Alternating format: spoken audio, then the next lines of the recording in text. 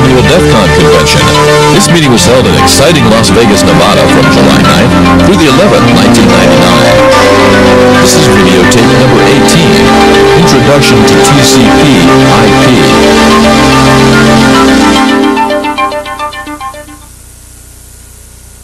Unfortunately, I wasn't able to make copies of these slides. Um, This is going to be kind of a slide-intensive presentation, so if anybody does want a copy of the slides, just uh, grab me anytime during the con, I'll throw them on a floppy for you, or send me an email and uh, I'll get them to you.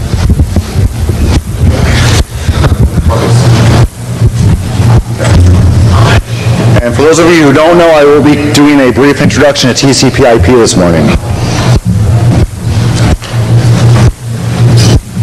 What this lecture is going to cover, this lecture is going to be a low-level, it's basically, it's a low-level overview of TCP/IP. This lecture is geared towards novices. This obviously is the newbie track, so it's not going to be a real high-tech presentation. If you do want a high overview overview of TCP/IP, this is the book to get, TCP/IP Illustrated, W. Richard Stevens. Uh, Buy this book, read it from cover to cover. After you read this one, there's two more volumes after this. Excellent book.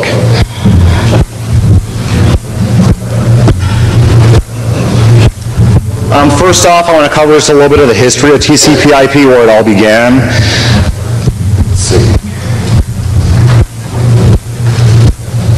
Essentially, TCP/IP started in 1969 when the Advanced Research Project Agency, also known as ARPA, decided to fund some research and development into uh, making basically not really a global network, but they just wanted to start putting all their resources together and uh, make a network that they could put all these resources together and network the computers together and essentially uh, make all their computers work a little bit better together. ARPA's goal wasn't originally, the internet as we know it today, that was not their original goal. It was more of a research project. ARPA's goal was to study techniques for providing robust, vendor-independent data communications. So basically, it could put all these different machines together, regardless of operating system, regardless of vendor, and have these machines be able to talk to each other on a network.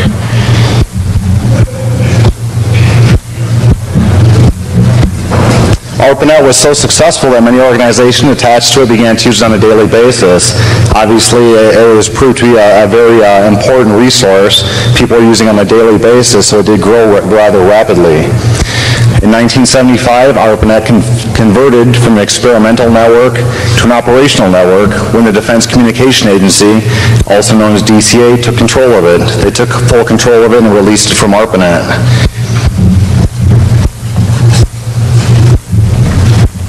In 1983, a couple different things happened with TCP/IP. The TCP/IP protocols were developed as military standards. They were then enforced as military standards. All hosts on the network were then required to be able to use this uh, communication suite to talk to each other. Also in 1983, DARPA funded the implementation of TCP/IP in Berkeley or BSD Unix. And also in 1983, the term that we know today as Internet came into common use.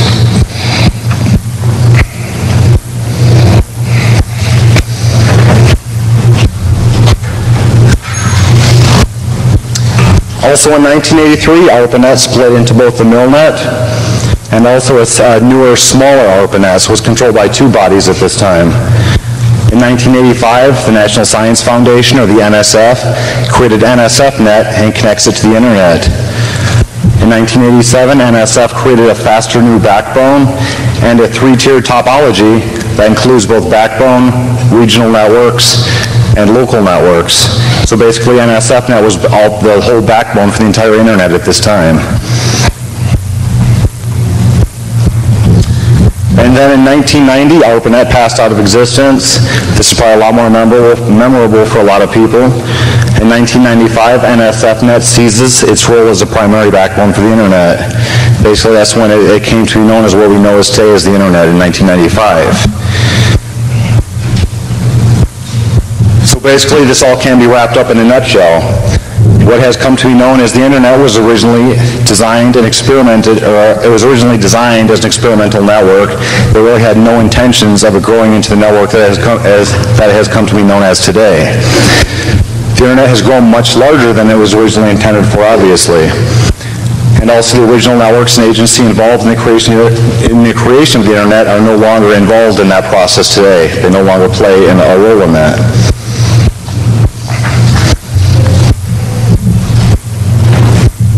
Couple of the myths of TCP/IP. Contrary to many think, Al Gore did not create the internet. He did not invent the internet. When the internet was internet was funded, Al Gore was only 21 years old. He was a college student. I don't think he had anything to do with it.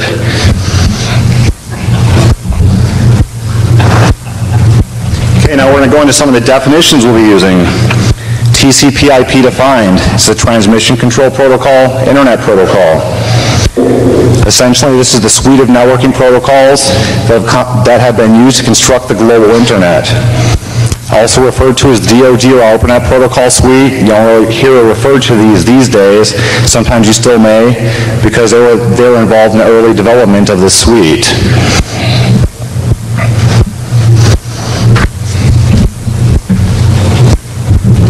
So TCP, defined in nutshell, is the series of protocols that allows computers to communicate on a network regardless of operating system, regardless of vendor. It Doesn't matter what operating system you're running, doesn't matter what type of computer you're running, as long as you're running a TCP IP stack, you can still communicate with other computers on that network.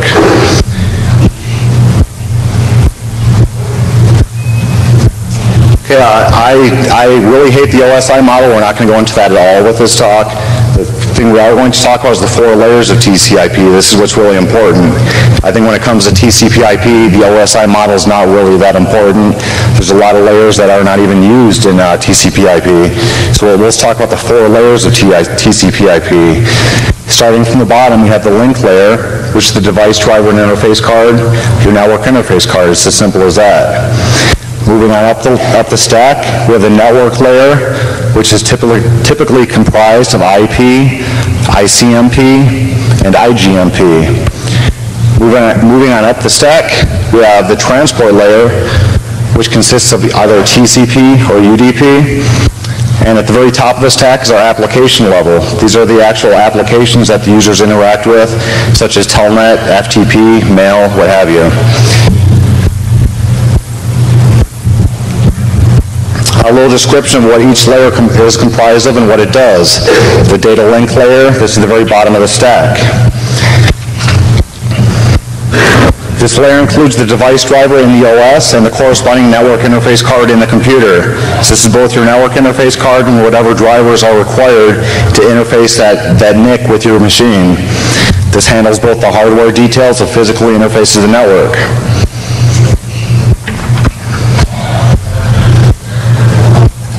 Moving on up to the network layer. This is also sometimes known as the internet layer. This handles the movement and routing of packets around the network.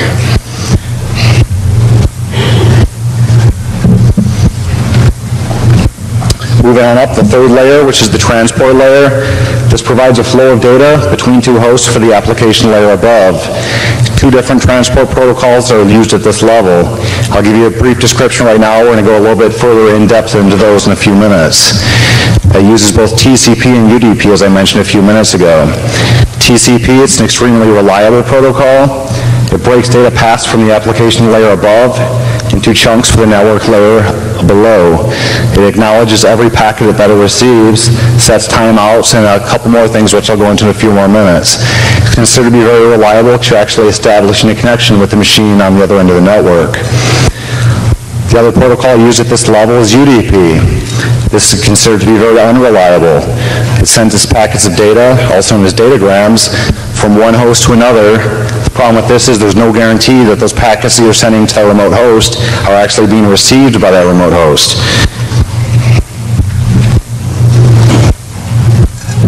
And at the very top, we have the application layer. This layer handles the details of the particular application being used. Some of the standard TCP IP applications include Telnet, FTP, SMTP, and also SNMP.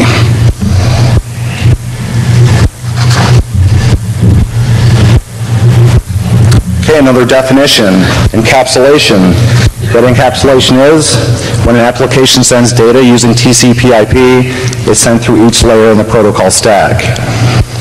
As it passes through each layer, each layer adds its own information to that data by adding its own header and sometimes a footer to that information. The data is then sent as a, bit- a stream of bits across the network. Uh, This is a little graphical representation of exactly how encapsulation works. We start off with our user data. First, it's run through the application layer. Remember, it has to work its way through the top of the stack, go down to the bottom of the stack. Once it runs through the application layer, the application layer adds on its own application header.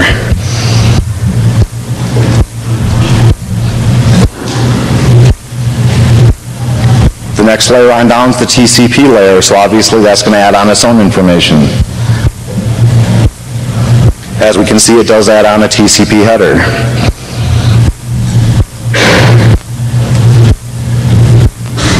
Now, this, this piece of data, or this chunk, this segment is what's known as a TCP segment. Both your application data and TCP header comprise a TCP segment.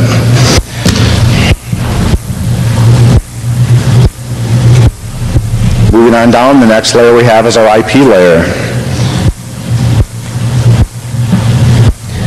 As you can see, the IP layer adds on its own IP header.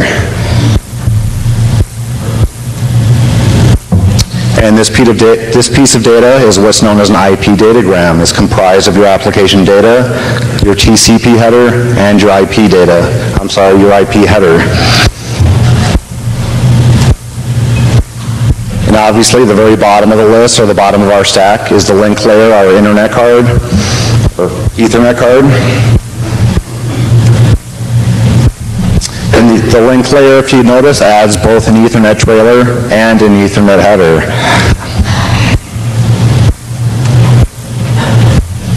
And this piece of data is what's known as an ethernet frame. This is going to be what's sent across the ethernet.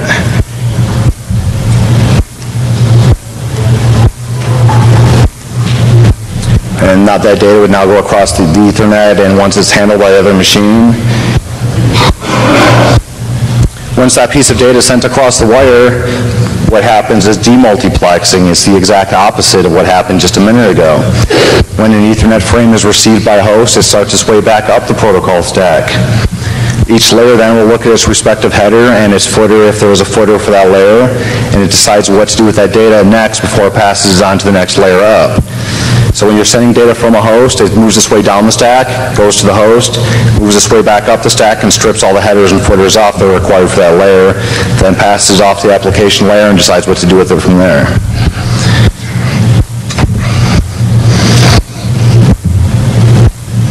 Okay, now I'm going to talk a little bit about some of the TCP IP networking protocols that are in use today.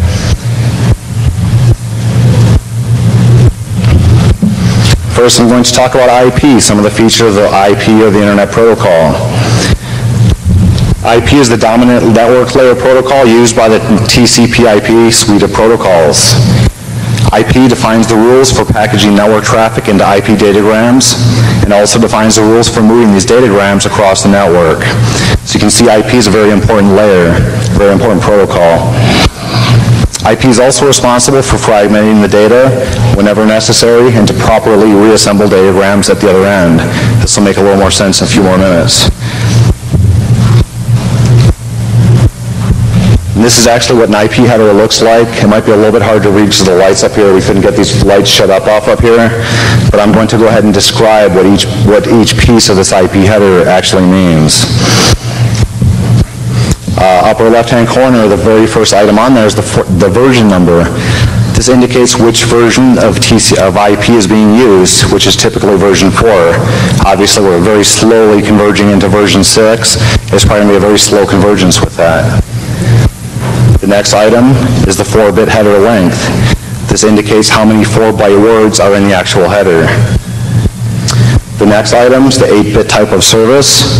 I'm not going to go into real big detail on this. Uh, TCP IP Illustrated really breaks this down really well and exactly what the different types of service are. But essentially, this indicates the level of service the IP datagram should be assigned. The next item is the 16-bit total length in bytes. This is the actual datagram length. This is the length of the entire datagram, including the header. And the max size of this is 65,535 bytes. Next item is the 16-bit identification.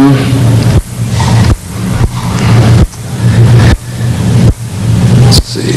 Uh, This is the actual datagram identification. This uniquely identifies each datagram being sent by a host. You want to have your IP datagrams each having an an individual identification, so once they're received by their host, the host knows how to handle that. The next item, we have a- couple different flags. There's three flag positions there. The first one's not being used. It's represented by the zero. The next flag, DF, is don't fragment, and the next flag is more fragment. This controls how the actual IP datagram is being fragmented as it's being sent across the wire. If you're sending a lot of information across the wire, obviously it's going to have to fragment this information. It can't send it all in one giant chunk. Remember, we have that limitation on how big the uh, the actual package can be with this. The next item we're looking at is the fragment offset, or the fragment 13-bit fragment offset. This indicates how many units from the start of the original datagram the current datagram is. Now, this would be used when you're sending uh, quite a bit of data across the wire. That number is going to increase with every packet of data that's being crossed sent, that's being- sent across the wire. If you're sending just a very small packet across the wire, your fragment offset's going to be zero. If it's being broken onto, say, three packets, it's going to increase with every packet, one, two, three. That way, once it's received at the host, it's going to know how to interpret that data, how to put that data back together, it's also going to know when it's uh, done receiving data, basically, when it's received the end of that data. The next field is the time to live, or TTL. This is an 8-bit number. This indicates how many routers a datagram may traverse before being dropped, the max TTL being 255. If you don't set a time to live on a packet, you send it out across the wire, let's say at a particular time it can't find its host, it's going to bounce across the internet forever till that host comes up. Can't have that, that kind of, uh, can't have that happening on the internet. It Could probably cause a lot of problems. The next field is the 8-bit protocol field. This, this identifies which protocol is handed to the, which protocol has handed the IP to data. The next fields are pretty obvious, the 32-bit source IP address, the 32-bit destination IP address. Obviously, it's the IP address which, which is uh, sourcing this information, and the IP address which is the destination of this information. The next field is the options. This field is not al- always used.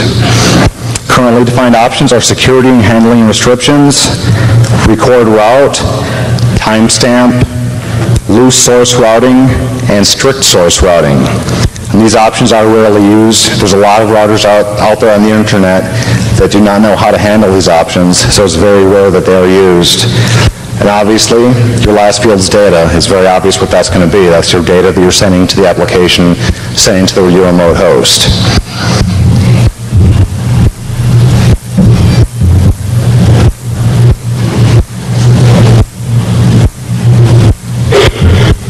Now, this is an actual TCP dump of an IP header, just to give you an example of what it might look like. As you can see at the very top, our version is version 4. That's what's most widely, most commonly used on the internet these days. The header length, 20 bytes, that's obvious. The service type, as I said, I'm not really going to go into that today, but that hexadecimal representation represents the level of service that this datagram will be. The next item, datagram length. This is the length of the entire datagram, including the header. It's 40 bytes. Next, we have our unique identification, which we would have for every packet going across the wire. And next, we have our two flags, the must fragment and don't fragment. As you can see in this case, must fragment is off, don't fragment is on. That means we're sending a very small packet across the wire. It's only going to be one packet going across the wire. Next, fragmentation offset. As I mentioned, this will increase exponentially when you're sending large amounts of data across the wire. In this case, it's zero. It's a very small piece of data we're sending. The next item, time to live, 32. This packet can only traverse 32 routers or 32 hops before its destination, before it's actually dropped. The next item is the encapsulated protocol that's being used in this instance, which is TCP. The next item is the header checksum. This is basically just a bounds checking that the remote host will use to make sure that the data being received is not corrupted in any way. And then we have our source IP address and destination IP address. Those are both obvious.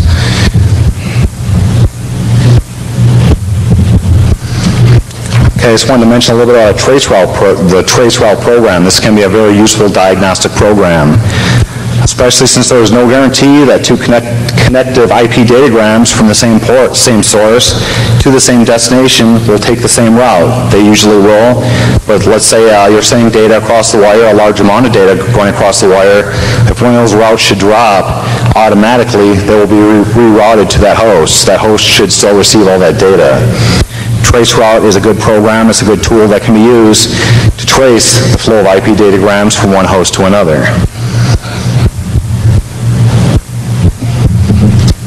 An explanation of how Traceroute works. Traceroute sends an IP datagram with a time to live of 1 to the destination host. If you remember a minute ago, I mentioned the time to live is essentially how many routers that packet can traverse before it's going to be dropped. So obviously, once it gets to the first router and is passed to the host, that packet's going to be dropped, is going to be decremented by to zero. That packet's going to be dropped by that router. That router is then going to send an ICMP time exceeded back to the host. What happens next? Traceroute then sends another datagram with a time to live of 2. We then find the next IP address of the second router. It'll decrement to zero once again, be dropped. It'll send back the ICMP time exceeded back to the host, so on and so forth. We'll keep doing this until it eventually does reach the host.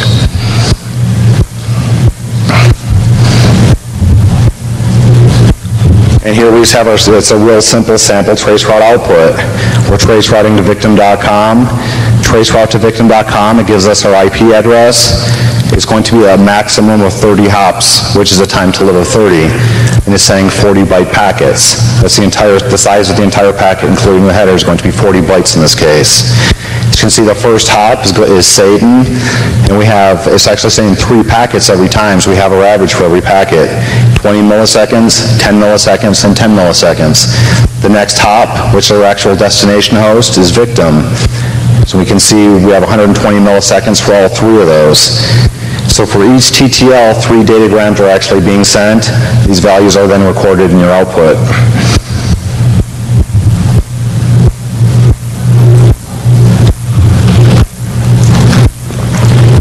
Moving on to TCP, some of the features of TCP. TCP is a transport layer protocol. I mentioned that a little bit earlier. This provides a way to connect hosts across a network reliably. As I mentioned before, TCP is considered to be a very reliable protocol. Actually, TCP provides a, a, virtual circuit between two hosts. These hosts are actually connected from one endpoint to another. It's basically a virtual connection between the two machines. Communicating hosts are required to acknowledge receipt of network traffic. That way you're guaranteed that that information you're being sent to that host is actually being received by that host. If for some reason that host drops in the middle of a transmission, you'd be notified all the information being, you were sending to that host was not received.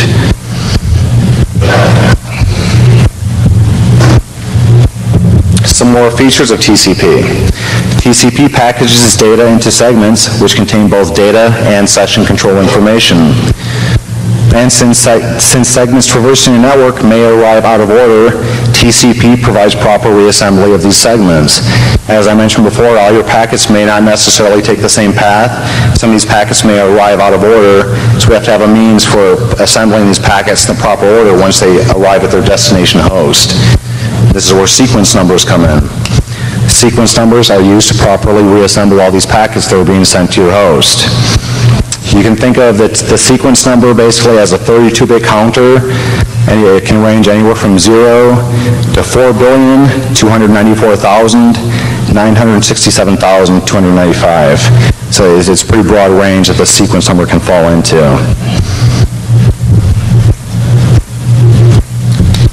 And this is just an example of how the, the uh, this is an FTP transfer TCP dump output. As we can see on our first line, we have TCP. It's uh, obviously using FTP is telling us. And the sequence number, we're just going to look at the last four digits of this, it's 1397. And as you can see, the data payload is 1,460 bytes. So next we increment up 1,460. The sequence, number, the sequence number is going to increase by 1,460 for packet 50. It's going to jump up to 2857. Once again, it's 1,460 bytes in this packet. So our next packet obviously is going to increase by that same amount of number for the sequence number. Increases to 4317, and the same thing for packet 52. So essentially, if these packets arrive out of order, the receiving host can still put these packets back into the proper order and, uh, and acknowledge what this data being sent across the wire is.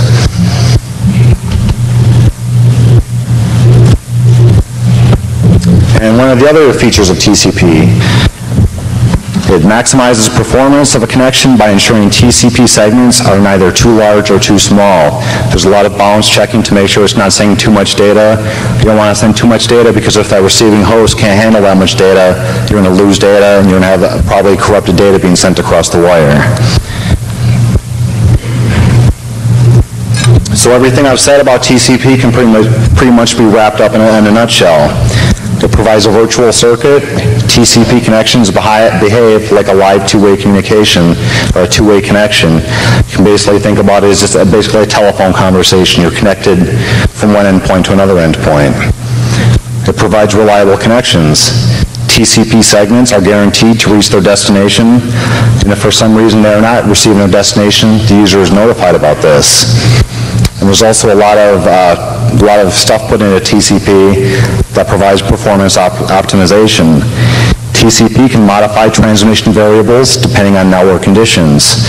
For some reason, if a route seems to drop, a route seems to really be lagging, that information will reroute across the network, and it essentially will it still reach the host, even if a route does drop.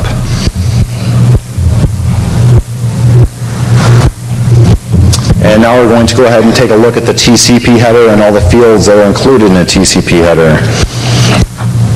The first two items we have, the 16-bit source port number, the 16-bit destination port number. Obviously, this is the IP address of your originating host and your destination host. The next field is your 32-bit sequence number. As I mentioned, the sequence number is a 4-byte number assigned by TCP, starting with a randomly chosen number. Actually, the older operating systems, it wasn't really very random. I'll talk about that in a few minutes. I think Pete's actually going to elaborate on this in the next speech on TCP IP sequence prediction. This number is used to determine how many bytes have been transmitted across the network, so it can properly assemble those, those packets once they're received. The next field is the 32-bit acknowledgement number.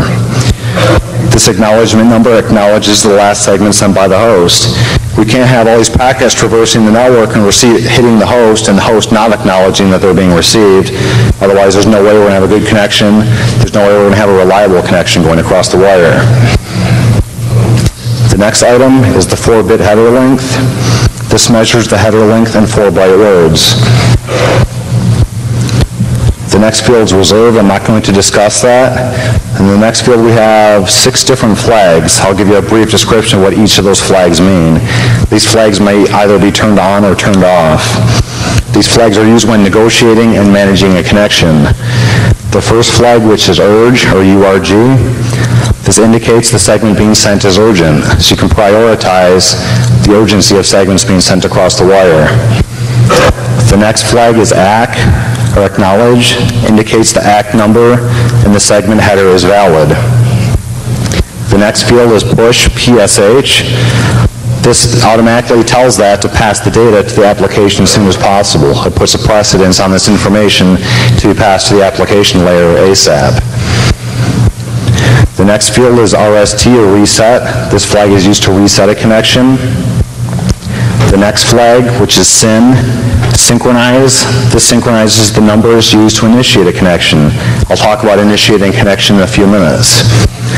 And the last field is FIN. This indicates that the sender is finished sending data.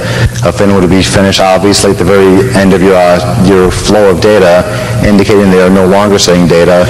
Your receiving host is to know that it has received all its data at that time. The next field is the 16-bit window size. This is the number of bytes the receiving host is willing to accept.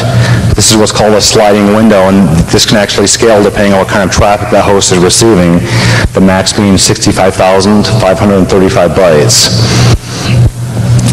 The next field, the 16-bit TCP checksum. This is a checksum of the TCP header and data. Once again, this is used by the receiving host to ensure that that data being sent across the wire is not corrupted. The next field is the 16-bit urgent pointer. This is used only if the urgent flag is set, so this sends a precedence on your information going across the wire. The last field are options. The most commonly used options in, in uh, TCP headers are both MSS, which is maximum segment size. This determines the maximum size segment the sender is willing to receive. So this basically coincides with the 16-bit window size I just discussed a minute ago. And then obviously at the bottom we have our data. Data is not always going to be sent across the wire, as you're going to see in a few minutes. When you're establishing a connection, no data is being sent. You must first establish that virtual connection before any data can be sent across the wire. So uh, essentially, this segment of the TCP, this portion of the TCP segment is optional.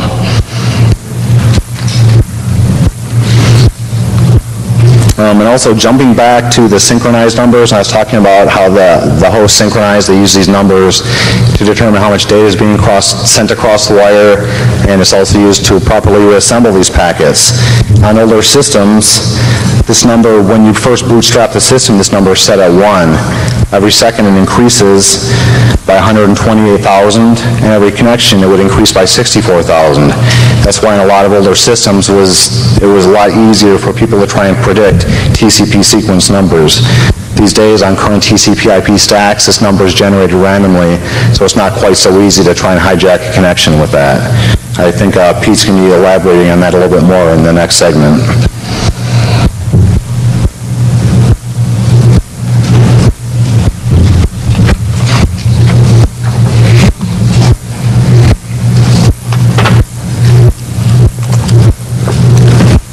This is actual TCP dump of a TCP header, give you an idea of what it looks like.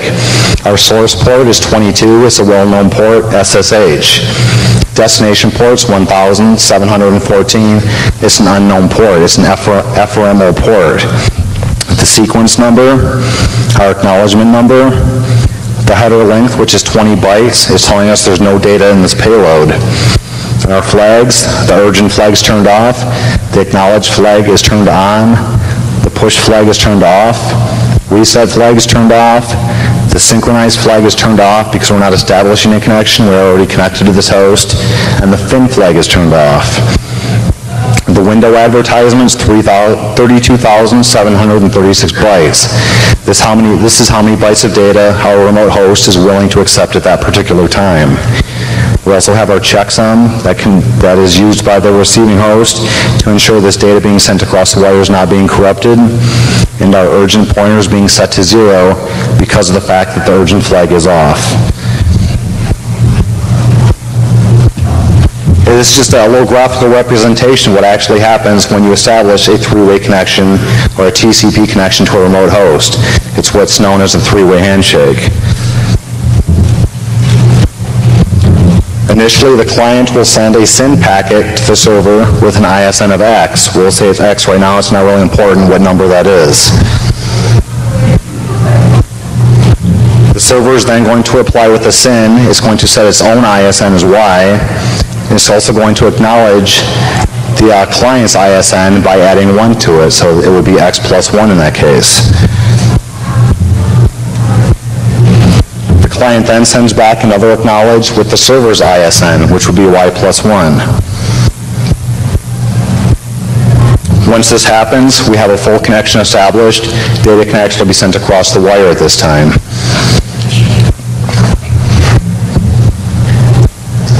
And this is a packet dump showing exactly what it looks like when this three-way handshake is being established.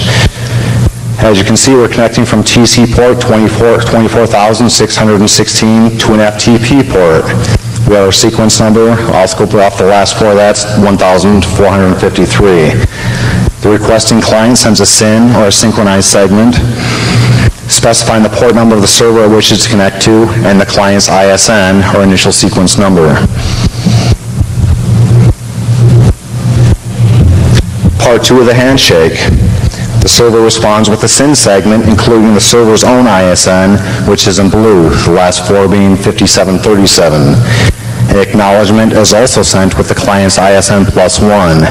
So as you can see, that did increase by one. It's at 1454 now. It was originally at 1453 when we first initiated this connection. And the last part of the three-way handshake, the client acknowledges the server's SYN and sends an ACK segment with the server's ISN plus one, which is the number in the blue. As you can see, that did increase by one, it's now at 5738, whereas before with the last packet, it was 5737.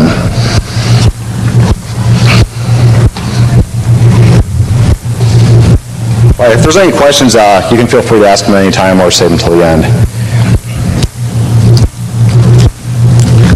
Moving on to UDP, User Datagram Protocol. I mentioned before, UDP is also another transport layer protocol such as TCP. UDP does not use the benefits of error detection, error correction, handshaking, or verification of delivery like TCP. It provides a connectionless de- delivery system between two hosts, and because of the fact that there's no error checking, error correction, uh, it doesn't ensure that your packets are receiving the host. UDP does have very low overhead. It's typically only used for very simple applications such as TFTP. If you have a, uh, real intensive application, you're not going to want to use T- UDP because there's no guarantee that this information being sent across the wire is actually receiving its host. With an intensive application, you want to guarantee that the information is properly going across the wire.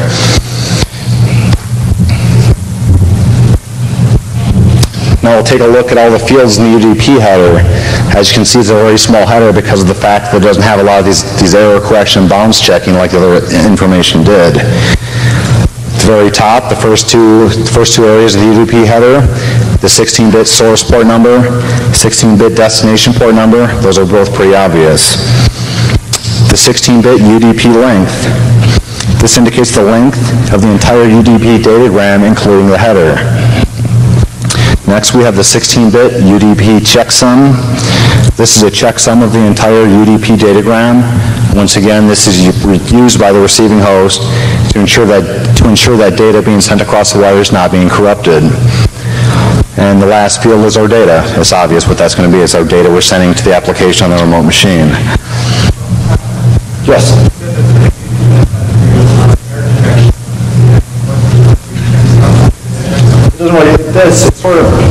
He was asking, uh, he said UDP does not do error detection. All this, it's not actually doing error detection, it's just ensuring that that packet is properly formed once it's received the host. Let's say that packet does hit the host and it says there's something wrong with this packet, it's not going to let you know if there was something wrong with it.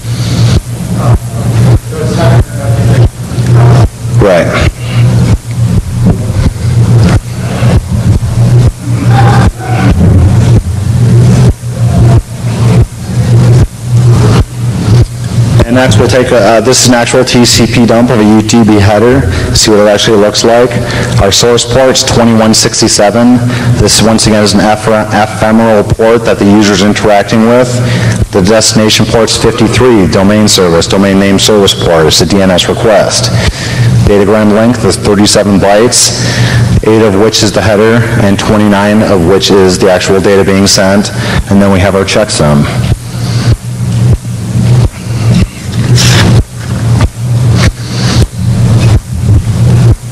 That actually pretty much wraps up my uh, speech. There's a couple references I have in my slides.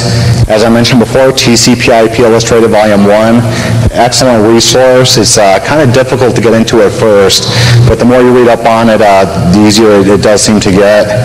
Also, TCP/IP Network Administration is one of O'Reilly's books, written by Craig Hunt, is a pretty decent book also.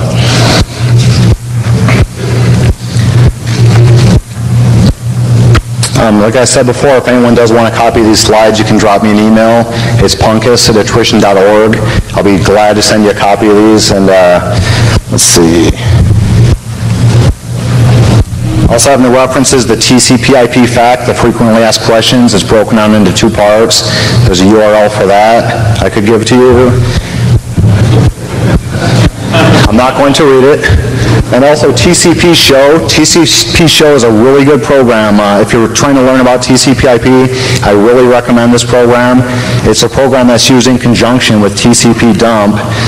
Uh, TCP show essentially reads a TCP dump save file, provides a reasonably complete decode of Ethernet, ARP, RARP, IP, ICMP, UDP, and TCP headers and packets that match the Boolean expression.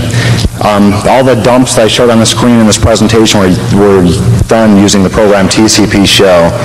I don't know how familiar people in here are with TCP dump, but it doesn't really provide an output that's real easy to, uh, to determine what's going on with that information.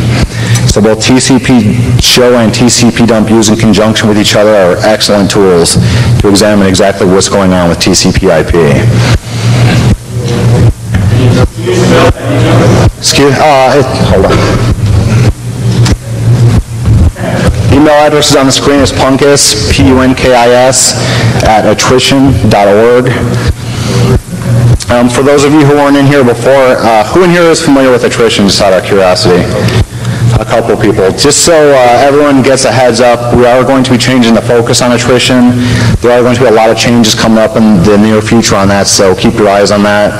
We are going toward a more, uh, a tech- a more technical content with that. So we are changing our focus a little bit on that.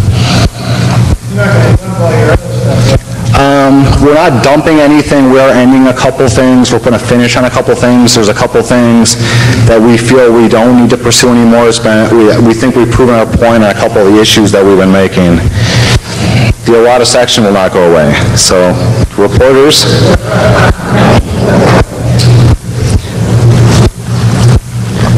Okay, is there any other questions? Yes.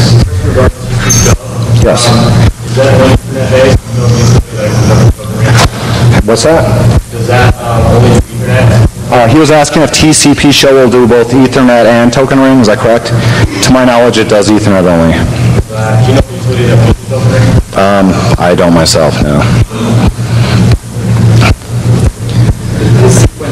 Why doesn't it increase by one? Um, Pete's going to be talking about this with the TCP IP vulnerabilities. If it increases by one, it's going to be very easily for, an attacker can send basically a fake packet coming from wherever he wants to.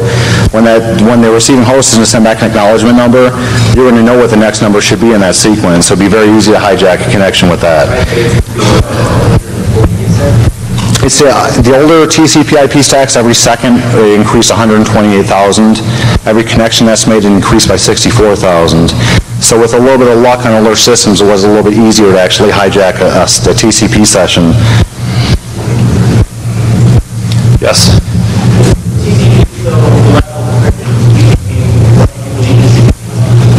UDP rarely is used anymore. I mean, what's used, uh, TFTP is one of the really only stock applications that come with most systems that's used, that uses UDP anymore.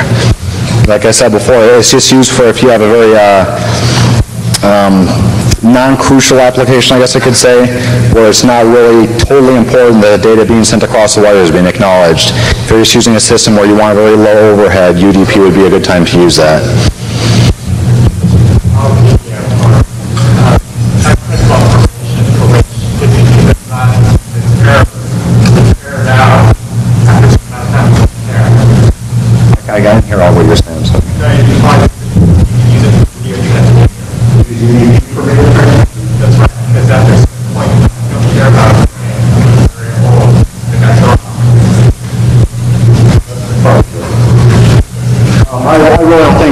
Think, he he asked about UDP being used with video transmissions. I I doubt you'd really actually want to, you'd probably be dropping a lot of frames not actually knowing it.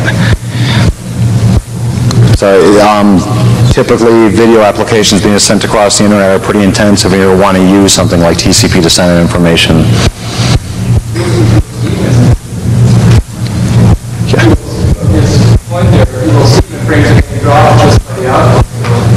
Yeah, it would, it would be obvious, but for instance, if you're, if you have some kind of service where people are paying for this information and you're dropping frames, and obviously your, your video output's not going to look very good, then, I mean, it- it's, that'd be kind of up to the user that, that's pushing that information across the wire.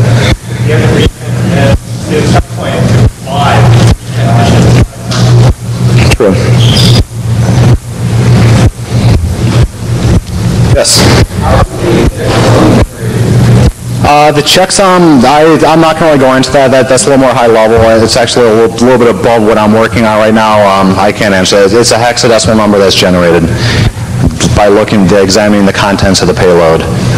The same thing's done once it's received by its receiving host, and to ensure that the data is being received properly.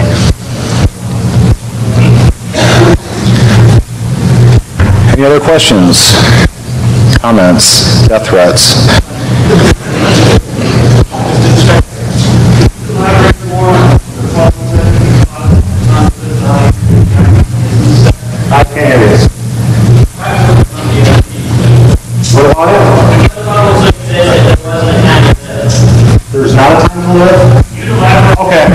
He was asking what, what could be a potential problem with sending information across the wire without a time to live. Obviously, if I'm sending information to a host on the internet that's not actually up at that time, this information is going to be bouncing across the internet forever. Let's say that host never comes back up. This internet's always going to be bouncing across the internet. So you're going to cause a lot of overhead problems, obviously. Hosts are dropping every day. So Using the TTL, they will. Without the TTL, they will not.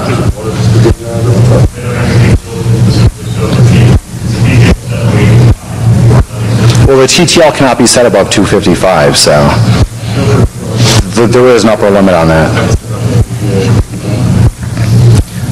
And back?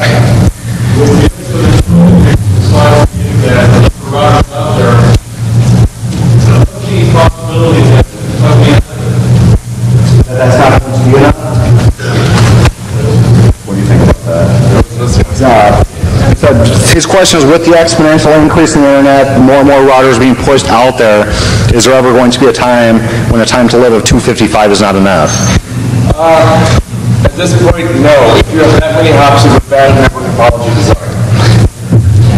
You know, typically, if you, if you trace route a host, even if you're trace routing it to, to the other side of the world, you're probably not going to have more than 20 or 30 hops. I don't think, I've never done a trace route where I've had probably more than 40 hops. So I think actually 255 is very reasonable. I 8 to 16. Right. Yes.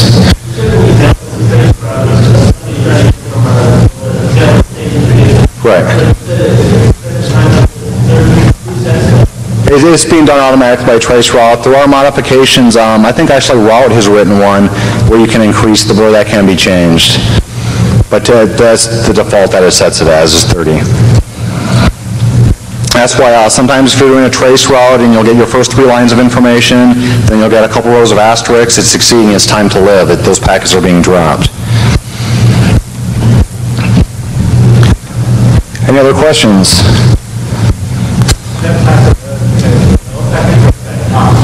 Um, actually, it it depends on um, who you ask about it. It's, some people say it's one, some people say it's the other. Typically, it's just how many hops.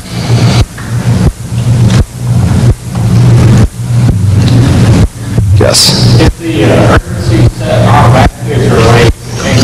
urgency is set automatically unless you actually build a program where you're constructing your own packets. It's set automatically.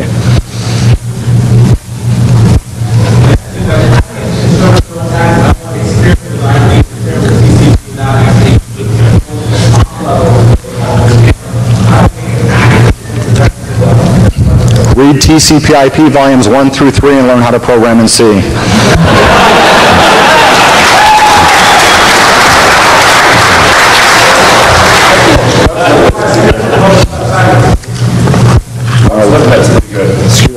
Um, Route does make a program called LibNet. Um, I'm not sure what his site even is these days. I don't don't even know if it's up. It's L-I-B-N-E-T, and I know, uh, It's a, bu- it's a C function library that does all the uh, nasty math for you. Pack, okay, packetfactory.com, I believe, is the new URL for that. And actually, they're supposed to be releasing a newer and bigger version of that um, in the real near, near future, I believe.